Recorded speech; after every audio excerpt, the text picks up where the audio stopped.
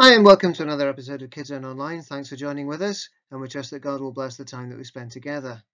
This week, we're carrying on the memory verse that we've been learning for the past two weeks, and we'll be having another look at some Bible animals and the lessons that they can teach us. And of course, we'll be having another story uh, about the resurrection of the Lord Jesus and how the Lord Jesus appeared uh, to different people after he rose again from the dead. And Gordon will bring us the story tonight.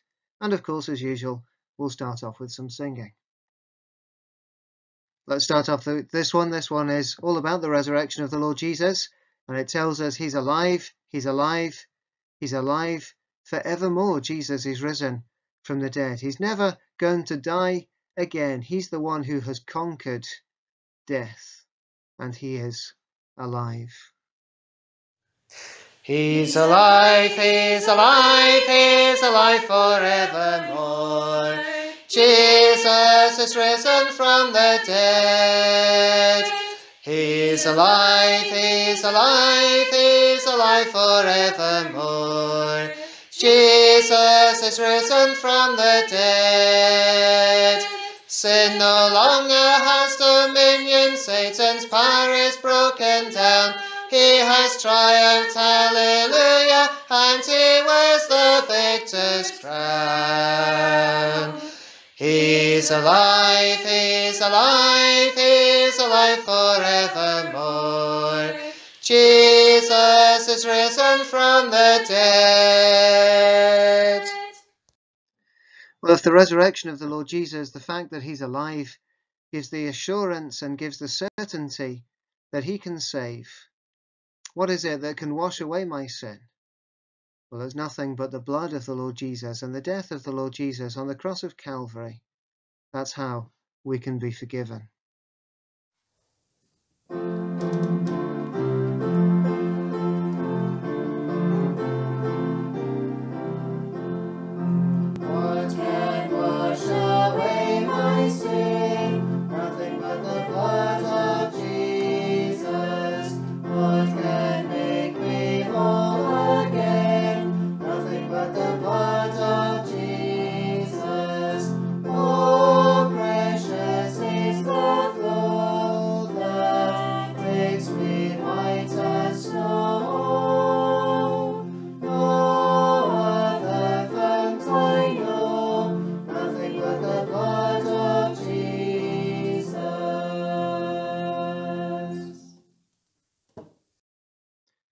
This next song thinks again about the cross of the Lord Jesus and how it was for my sins that the Lord Jesus died.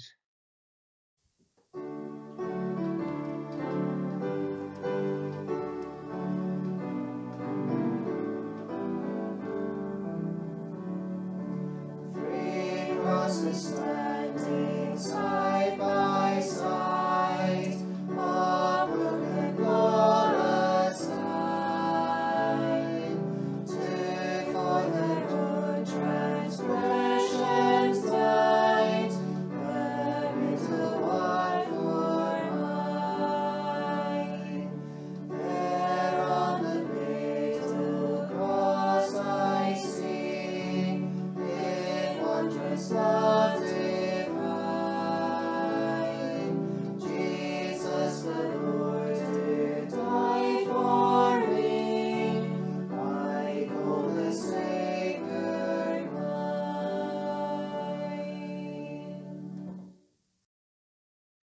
Well, if the fact that the Lord Jesus died means that I can be forgiven, and the fact that the Lord Jesus is risen again means that I can be sure that I can be forgiven and sure that I can be in heaven, well, what's best of all is that if I put my trust in the Lord Jesus and the Lord Jesus comes to live in my heart, and joy can be the flag flown high from the castle of my heart when the King, the Lord Jesus, is in residence there. Música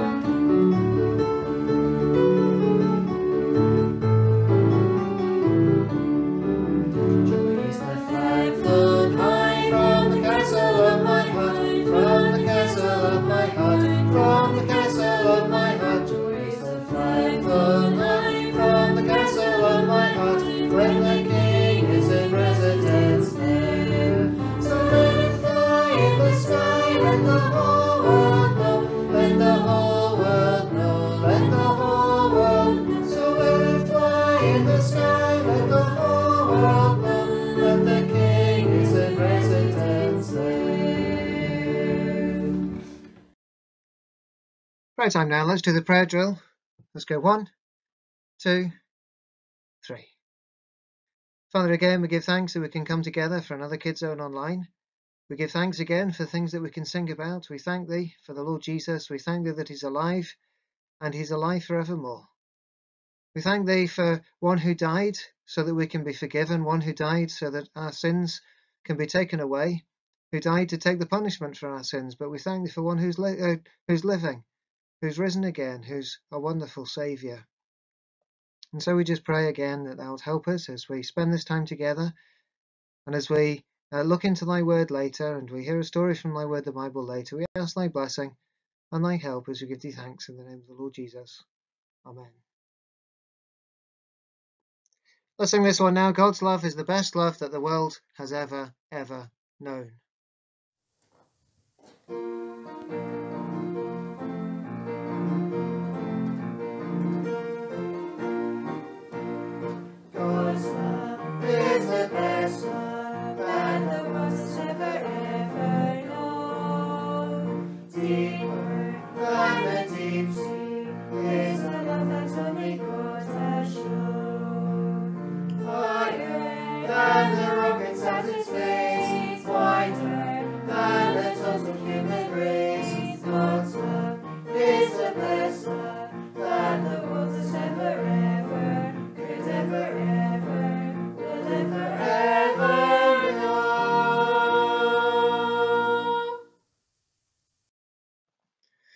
Look at Bible animals again. Who can remember what the first animal was that we looked at? what animal's that? That's a leopard. And what did we think about a leopard? Well, the Bible says, can a leopard change its spots? And the answer is no. It's born with spots and it dies with spots. What are we born with? Well, we're born with sin. and it'd be awful, wouldn't it, if we were to die with our sins not forgiven? Well, what was last week's memory verse? Uh, not memory verse. What was last week's animal? What's that? It's a sheep, isn't it? And what did we think about a sheep? Well, we thought that a sheep is like us. Sheep have a tendency to wander off and get lost. And all we, like sheep, have gone astray. We're like sheep. We've got lost. We've wandered away from God. And it's awful. It'd be awful if we stayed lost, wouldn't it? But we thought that the Lord Jesus came, and the Lord Jesus came to seek and to save that which was lost. Well, what do you think this week's animal is? What's that? It's not a sheep, is it? No, it's a goat. A goat. Now, in the Bible, there was a day in the year when the Israelites they took two goats, not one, but two goats. And one goat was to be a sacrifice. One goat was to be killed, and its blood was to be taken right into the presence of God. And it was a sacrifice so that God could forgive the sins of the people. What happened to the other goat? Well, the other goat, well, the sins of the people were confessed on it over its head, and it was taken away way, way, way out into the desert to a place where it could never come back again. And it was left there. And that reminds us of the rest of the verse that we started, or the rest when we thought about a sheep. Said, All we like sheep have gone astray, and the Lord has laid on him, that's the Lord Jesus, the iniquity, the sin of us all. The Lord Jesus died, he shed his blood so that our sins could be forgiven. And he's taken our sins far, far away. And they could never be brought back again. The Bible says, as far as the east is from the west, so far has he removed our transgressions from us. If we put our trust in the Lord Jesus, our sins, every single one of them, are all forgiven. Let's sing this one now. One way God said to get to heaven. What is it? Jesus is the only way.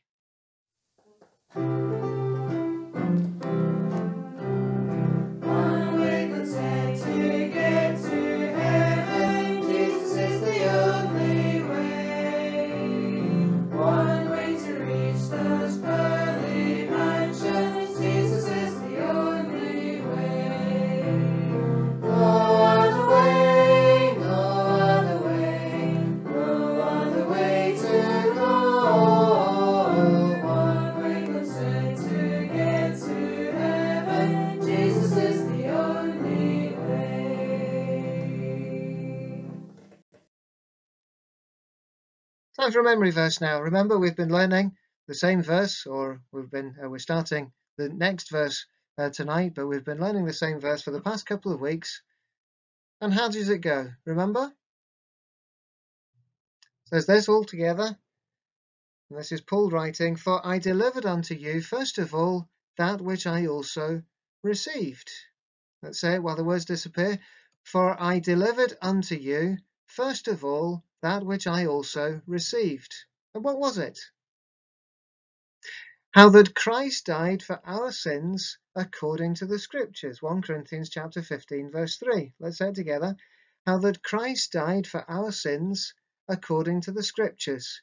1 Corinthians chapter 15 verse 3. And while the words are disappearing, how that Christ died for our sins according to the scriptures. 1 Corinthians chapter 15 verse 3. That's wonderful, isn't it? That the Lord Jesus would die in our place. But that's not how it finishes. It goes on. And it says this. And that he was buried. 1 Corinthians chapter 15 verse 4. That's what happens when someone has died, isn't it? We bury them. And he was put in the tomb. But you know, that would be awful if that was all that happened. And we'll think next week about what happened next. But let's say it together. This one's easy, isn't it? One, two, three, four, five words only this week's memory verses. So let's say it together. And that he was buried. 1 Corinthians chapter 15, verse 4. And again, and that he was buried. 1 Corinthians chapter 15, verse 4. I don't think we need to practice it anymore, do we? We'll say it as the words go away. You ready?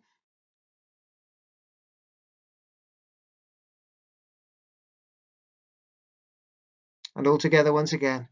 And that he was buried. 1 Corinthians chapter 15, verse 4. Can we say it from the beginning? For I delivered unto you, first of all, that which I also received, how that Christ died for our sins according to the Scriptures, and that he was buried. 1 Corinthians chapter 15, verses 3 and 4. As I say, we'll find out what the rest of the verse says next week. Let's sing one more before Gordon comes to speak to us. Wide, wide is the ocean, high as the heavens above, deep, deep as the deepest sea is my Saviour's love. How many Saviours are there? That's right, there's just one. And who is the Saviour? That's right, it's the Lord Jesus Christ.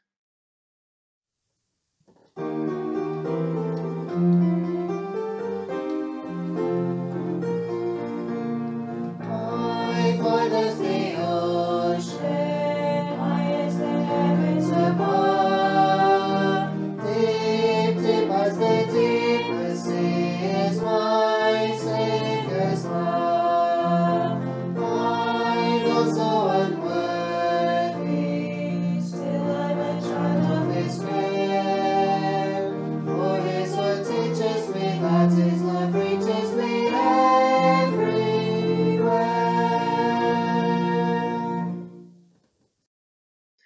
time now, over to you, Gordon.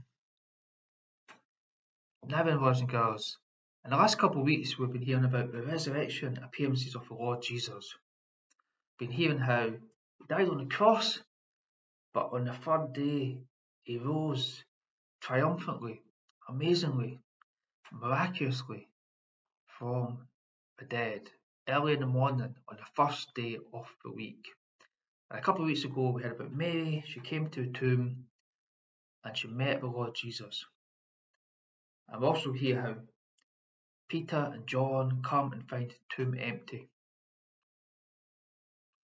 Now, later that evening, on the first day of the week, is where our story is set today. Now, the disciples in the evening were in a room together praying. The doors are all locked because they're afraid. They're afraid the soldiers will come and arrest them, try and kill them, possibly crucify them. So doors are all locked. And then, amazingly, miraculously, the Lord Jesus appears in the middle of the room where they are. Now you'd be afraid, wouldn't you, if someone just appeared in a locked room? Now Lord Jesus says, Be at peace, don't worry, don't be afraid, he says to him. And he shows them his hands with the nail prints and his feet and his side where the spear had went in to show that it was really him. And you know it tell, tells us in the story? The disciples were glad when they seen the Lord Jesus. It brought them comfort, peace, assurance that he was there with them, that they seen him alive.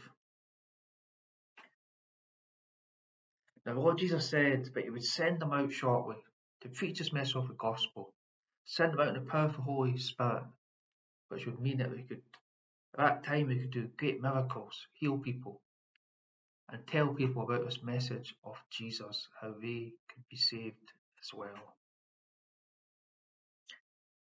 Now, Jesus disappears again, but you know, one of the disciples was missing. He didn't see the Lord Jesus appearing in the room. A disciple called Thomas. So disciples come and they tell Thomas, We've seen the Lord. Now Thomas says, Unless I see the print of the nails in his hands and his feet for myself, put my finger in to these, these nail prints, and put my hand in his side where the spear went in, I'm not going to believe. And you know, that's why Thomas gets this name, Doubting Thomas. He doubted. Now, another eight days pass, so the following week, the disciples are met again, but this time Thomas is there. And you know, the Lord Jesus appears again in the room and says again, Peace be unto you. Don't be afraid. And he speaks directly to Thomas. And he says, Reach out your finger. Here's my hands. Put your finger into those nail prints. Put your hand into my side. And you know what he says to him? Be not faithless, but believing. So don't be without faith. Don't doubt, but believe have faith. And you know, Thomas,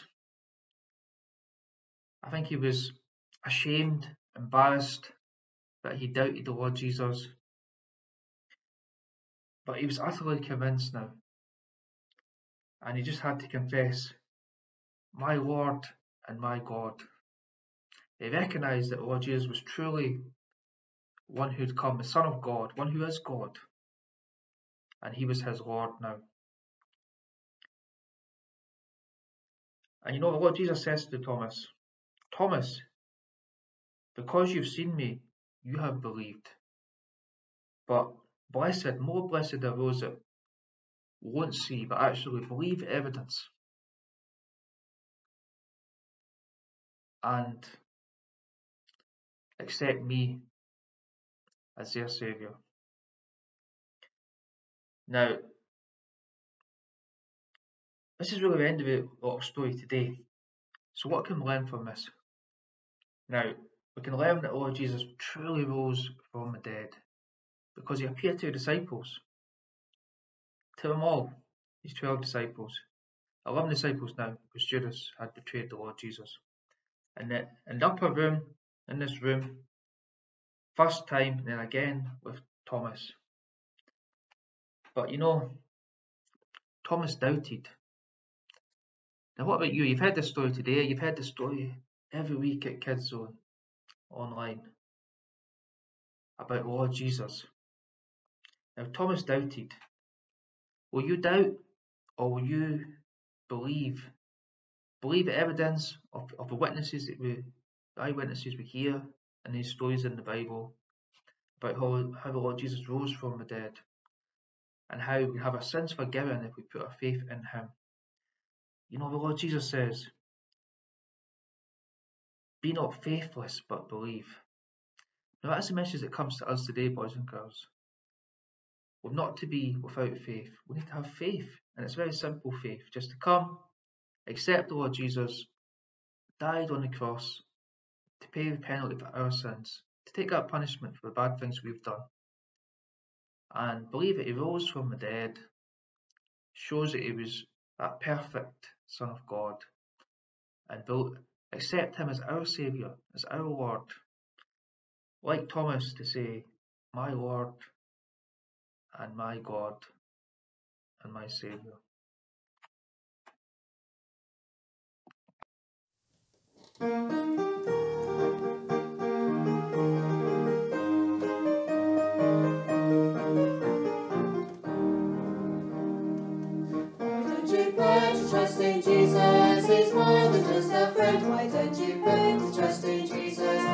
You till the end. Why don't you put to trust in Jesus and let him take control? He's the Son of God who loves you and he died to save your soul. Well, thanks again for joining with us for another Kidzone Online. Thanks to Free Bible Images for the pictures and to Cedarmont Kids for the theme tune. Thanks again to you for watching and if you want to get in contact with us, the contact details are on the screen. Find us on Facebook at Innerleven Gospel Hall. Get in touch with us, let us know that you're watching. It'd be great to hear from you. Until next time, until another episode of Kidzone Online, goodbye and God bless.